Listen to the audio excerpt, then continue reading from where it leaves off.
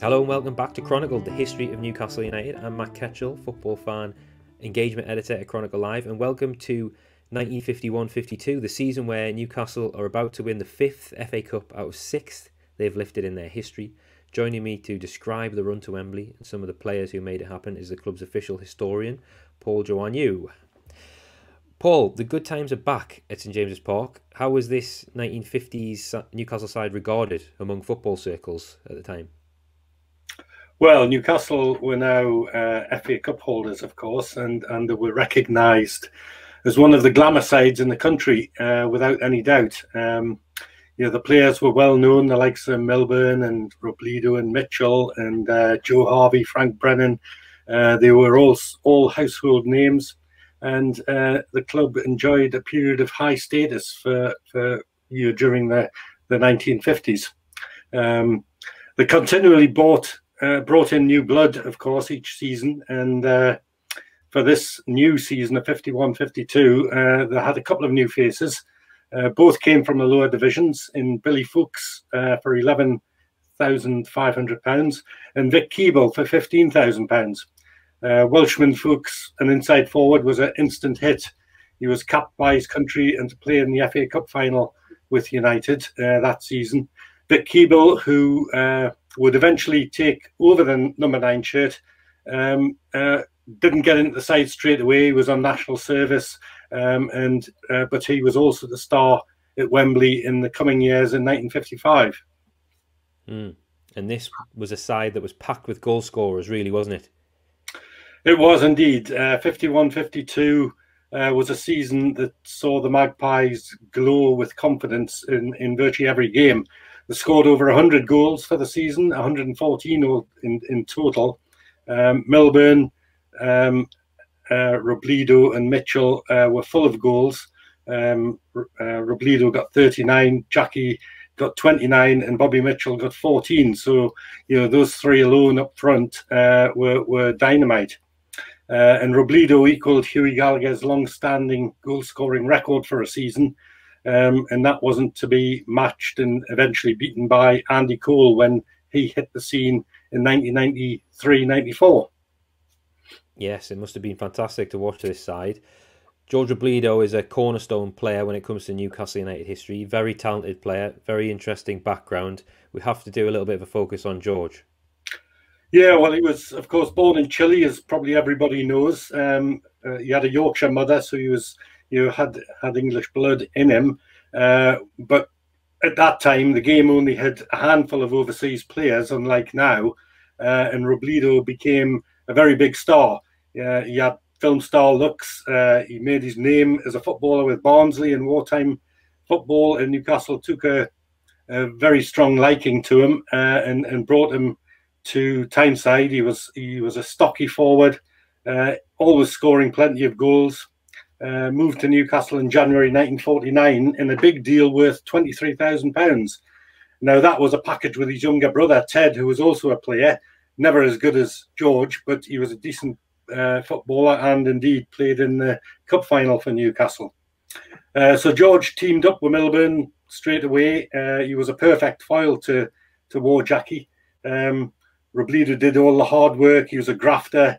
Uh, but he was also very lethal when the when the opportunity arrived in the box. Uh, he hit the ball true and he hit it hard. Um, and uh, you know, all told, he, he has an excellent record for the club: 91 goals in 166 appearances, and not many players have got a goal ratio uh, that good. Um, he was always favoured uh, back in his back in South America. He, he played for Chile um, in the 1950 World Cup and, and uh, was also all, always tempted to go back there. Uh, and of course, British football had a maximum wage, um, but South America didn't, and he was tempted to go back for a very big financial package. Uh, and he left Newcastle in May 1953. Uh, uh, but certainly for his period at the club, he was a hugely popular player and um, you stood alongside the likes of Mitchell and Mil, uh, Milburn and Brennan as, as the favourites of the side. Yes, and we know things go well in the FA Cup during this season, but what about the league campaign first? Well, uh, Newcastle started, uh, you know, wonderfully well. They they just couldn't stop scoring on the opening day. The they hit six against Stoke City. Then they quickly gave league champions Tottenham a hiding. Now Tottenham were an absolutely special side, um, and they, they did um, hit Newcastle for seven the previous season. But Newcastle got revenge at St James's Park. They scored seven against Tottenham, um, and they were to record an even more headline win later in the season in London um, against Spurs. Now, Burnley also suffered a seven goal defeat two weeks later, um, and Newcastle were in fourth spot by Christmas. So they were going very well and challenging at the at the top of the league and, and a lot of people's favourites for the title. Mm. And then January arrived, the FA Cup kicks in. Did that affect league performance? It did again, again, uh, not for the first time. Uh, it seemed to happen over and over again. Uh, the FA Cup interrupted that, that excellent league form. From January onwards, uh, the of course defended the trophy, and it and, and became the first side to successfully secure the cup in successive seasons. You know, not since 1891 had that happened, and that was a monumental feat. You know, back then it just didn't happen. Uh, unlike now, it, it, it's fairly uh, common practice for clubs to get to Wembley, um, and and one of the big six or seven clubs seem to win it every year. Um, so the FA Cup run that season was hugely demanding, and it and it you took over from league action. Um, Newcastle focused on the on the FA Cup, um, and it was a difficult run, as I say, uh, the most difficult in United's history, really. Um, they faced high-ranking sides from the top division on five occasions uh, uh, to securing the trophy. Interesting. Can you talk us through that a bit then? If the, such a difficult run, it, it must have been worth it at the end. But let's hear in a bit of detail who they faced and how they got on. Well, every every game was watched by huge crowds, uh, more or less capacity attendances home and away. Uh, they opened with a, a, a, glamour tie with Aston Villa, who were you know up at the top of the table as well. Uh, Newcastle won 4 2 at St James's Park. It was an epic tie. Uh, Newcastle were 2 1 behind at half time, so things didn't start well. Um, and, you know, time was running out. Then, you know, the magic of Bobby Mitchell took over and, and he turned it on, and Newcastle won 4 2 in the end. It was a, a wonderful tie. Um, but that was really surpassed um, with a game against the league champions Tottenham at White Hart Lane. Now, Newcastle you know, went there. It was a it was a um, a mud heap of a pitch uh, with not very much grass on it at all. And against the reigning champions, uh, Newcastle put on a quite brilliant performance. Again, Mitchell was outstanding, and the won three 0 and that made everybody take notice that, that Newcastle were really at the top of the game. Um, in the uh, fifth round, uh, they, they had a, a, bit of a giant killing um, uh, tie to face uh, Swansea Town um, away in Wales. It was a tricky test uh, against lower opposition, but Newcastle won 1 0. Um, but again, it was uh, um, you know a packed crowd in at Swansea, and they all wanted to see the the glamour side Newcastle United.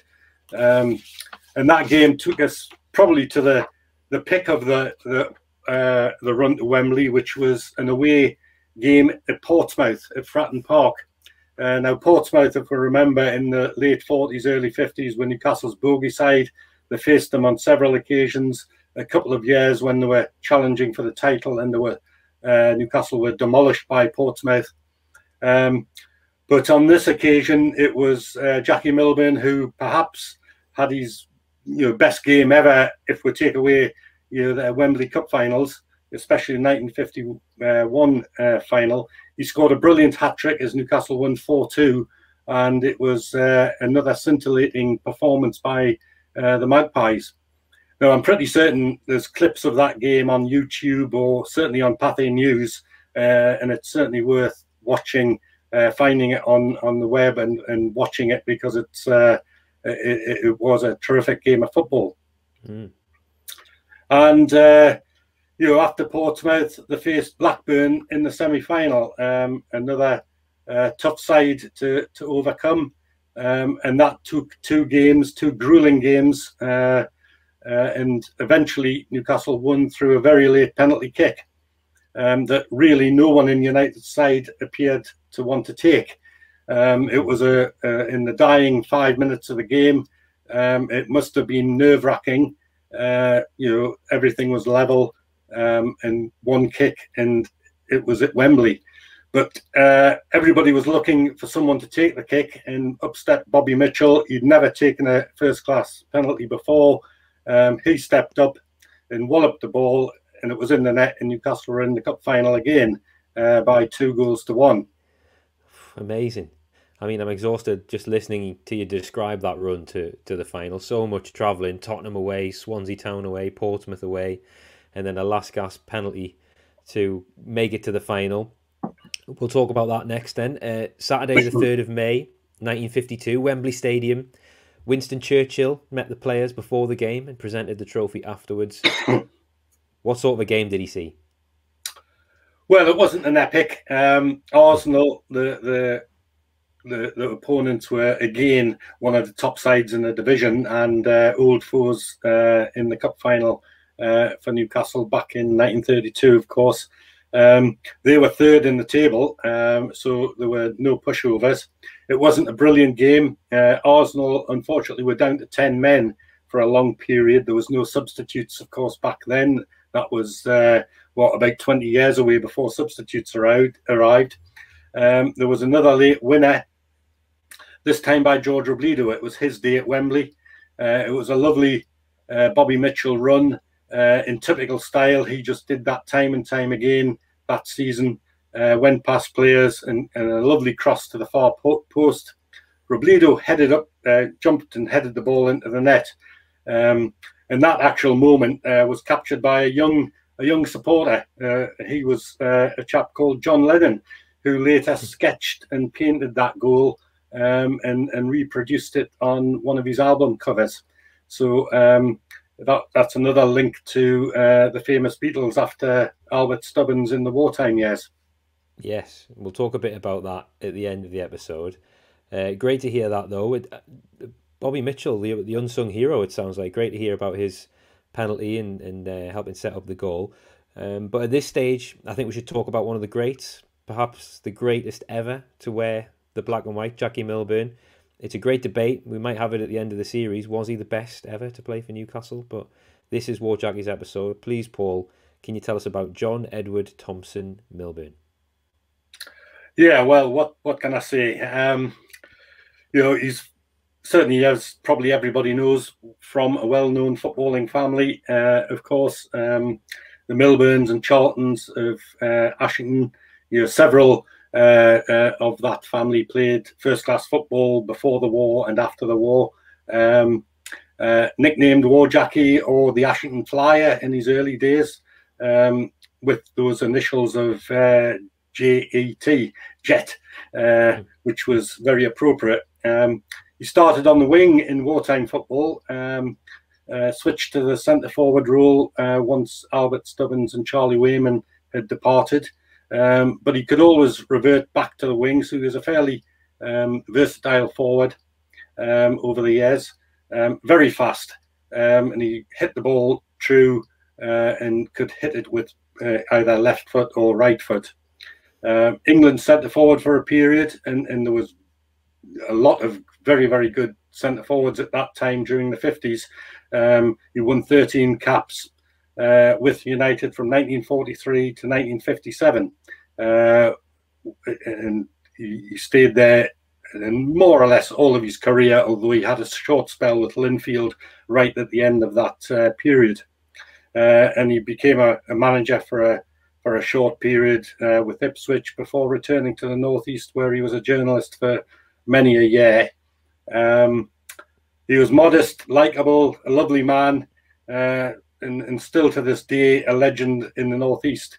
Uh, Tyneside's favourite son, maybe. Um, the 1951 final was his greatest moment, without doubt. Um, he was there in 1952, and he had another um, great moment in 1955. So three FA Cup winners' medals, um, and his overall record is just phenomenal. Uh, 494 appearances in all senior football, including wartime. uh, 238 goals, the very best, uh, although Alan Shearer just topped that in league and cup football. Um, so, you know, was he the best? Um, maybe he's certainly up there in, in the ranking. And as you see, we might talk about that uh, another time. Yeah, amazing. And you were lucky enough to meet the man himself, weren't you, Paul? A few times. We'd love to hear about the occasions that this happened. Yeah, I was lucky uh, to see him several times, uh, and and once, you know, the first time was as a very young lad, aged about twelve. Um, my father knew all the players and directors back then, and uh, he looked after uh, Jackie's testimonial pre-gathering at the County Hotel, uh, which was a sort of unofficial headquarters for the club during the fifties, sixties, and seventies. So I was there with my dad, and uh, I was lucky enough to be invited onto the bus with all the players going up to St James's Park for these testimonial in '67, um, and uh, you know, apart from meeting Jackie and all these uh, colleagues, Frank Brennan and uh, everybody like that, uh, Bobby Mitchell, uh, I got to sit next to the great Puskas, who was the famous Hungarian uh, forward, who was the guest player at the testimonial, and you know, I was in awe. I was only 12, um, mm. sitting at the front of the bus with Puskas next to me. He couldn't speak a word of English, so I just sat there. and I just sat there, you know, pretty frightened at the whole occasion. Um, but he smiled and uh, was a was a nice lad uh, and well, a nice man at that time. And uh, and I vivid, vividly recall uh, the great Puskas, of course. Um, so after that, much later, as the club's historian, I, I, I interviewed him and, and he wrote a, a, forward for me as well, uh, and saw him at St James's Park quite a few times. And as I said, lovely man, genuine and, and ever helpful. He was always willing to have a chat and and uh, give advice and talk about his playing career. You know, one of the one of the true greats and a down to earth, you know, Ashington Geordie lad. Amazing, amazing. Puskas and Puskas and Jackie Milburn on the same day. Not many people can can have that one in the locker. So um, brilliant to hear that. So yeah, 51, 52, amazing season. Um, remarkably, it didn't finish at Wembley for Newcastle, did it? No, the they collected the trophy, uh, had the usual homecoming, and then um, we're we're away on another uh, landmark overseas tour um, following on from their late 40s trip to North America. This time it was to South Africa, uh, and not many clubs had gone to South Africa at that time. And indeed, they took the FA Cup with them uh, uh, the very first time the, the famous trophy had uh, left uh, the shores of the UK. And it was a lengthy exhibition trek uh, from the 17th of May to the 18th of July. So that was a long, long time traveling all over uh, South Africa. Uh, they played 16 matches and were heroes wherever they went, of course. Um, and uh, I do re recall reading that one of the, the, the fans that watched Newcastle uh, on that tour was the, the great Eusebio. He was mm. uh, in one of the crowds and uh, um, always uh, remembered watching the black and whites. Um, but in the end, it was a very weary tour um, the the traveling um, and, and, flying. They flew back then on on uh, one of the first Comet flights. Uh, I seem to remember, um, and the the Magpies paid for it uh, during the following season uh, because mm. it, it certainly took their tour, took the tour out of the players. Yeah, I can imagine. Let's well, I'm sure we'll talk about that in the in the next episode. Sixteen postseason games is, is going to take a, a, a, toll. So yeah, we'll we'll discuss that next Wednesday, I'm sure. Um, let's end sometimes. Let's let's end as we do sometimes with an image. Um, we discussed Albert Stubbins on the cover of Sergeant Pepper's Lonely Hearts Club Band album by the Beatles in episode twelve. That was the choice of Paul McCartney. Um, and now John John Lennon, as you met as you mentioned, Paul, sketched George Robledo, aged eleven, and uh, we've got the picture here that he sketched so I'm going to flash up on the screen uh, for people watching on our YouTube channel or on the video that I upload to Chronicle Live's website. So he used this image on the right uh, for his 1974 solo album Walls and Bridges. I'll post the image in a story on the website too, so, so you can have a look, listeners, if you want. It's a drawing on the right by an 11 year old John Lennon, and on the left, is a still image that I assume he based it on, which is George Robledo scoring the winner for Newcastle in the 1952 FA Cup final at Wembley, as we've discussed. It's a painting by 11 year old John. It says football at the bottom, and at the top he's written John Lennon, June 1952, aged 11. Um, it's a smashing little painting, actually. I assume he's uh, found that image, Paul, in, in newspapers and, and had a go at drawing it. Yeah, pro- I'm sure that's the case. He, he shows Milburn with a number nine on his back, and uh, he's got it pretty well uh, uh, accurate, apart from maybe the goalkeeper didn't dive to his right, he dived to his hmm. left, uh, and the ball hit more or less hit the post and went in. But uh, it is a pretty uh, good um, reproduction of of Robledo's goal. Mm-hmm. Yeah, criticizing the young John Lennon there. I think he's added a bit of artistic license to the goalkeeper's dive. It's it's it's a great shot. I'm a big Beatles fan and a John Lennon fan, so this is this is great for me. The album that he uh, that he used this for, Walls and Bridges, has some great tracks, including one called Number Nine Dream. The Beatles also famously recorded Revolution Number Nine.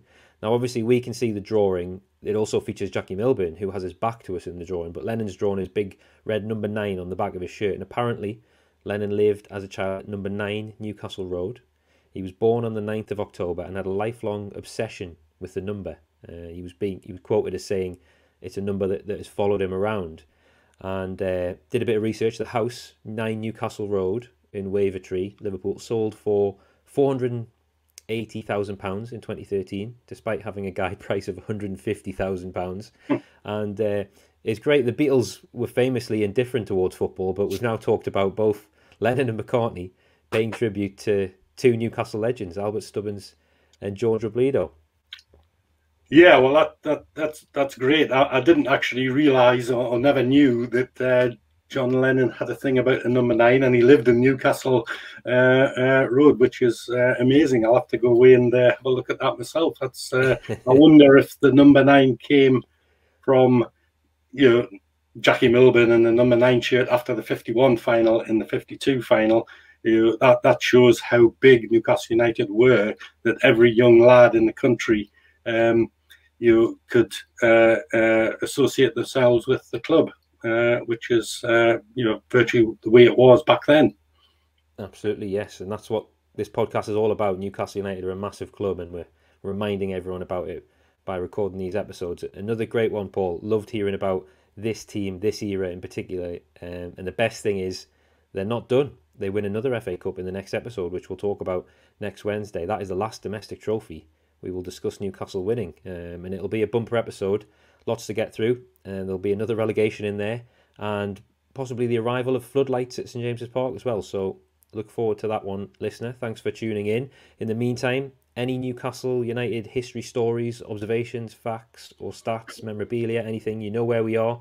The EIBW podcast at reachplc.com, or you can tweet me at Ketchell on Twitter. Uh, please subscribe to the Everything is Black and White podcast via whichever podcast platform you use. Follow Chronicle Live's Newcastle United channels on social media. We're at Chronicle NUFC on Twitter, Facebook, and Instagram. Are you enjoying Chronicled? I hope you are. This is the halfway point, pretty much, of the series, and a nice five star review on iTunes would be fantastic if you have time for that. And lastly, just to say, stay up to date with everything black and white by subscribing to our daily Newcastle United newsletters, curated by me. That's what I do uh, during the day here at Chronicle Live. They're free. Uh, I send a morning news roundup, an evening news roundup, and breaking news as and when it happens. That goes directly to your email inbox. The link, I'll put that in our show notes to, to sign up for the newsletter. You hit that, scroll down to Sport and Newcastle United Updates, tick the box, and you'll be signed up for free. Thanks so much for listening to Chronicled, the history of Newcastle United with me, Matt Ketchell, and Paul Joannou.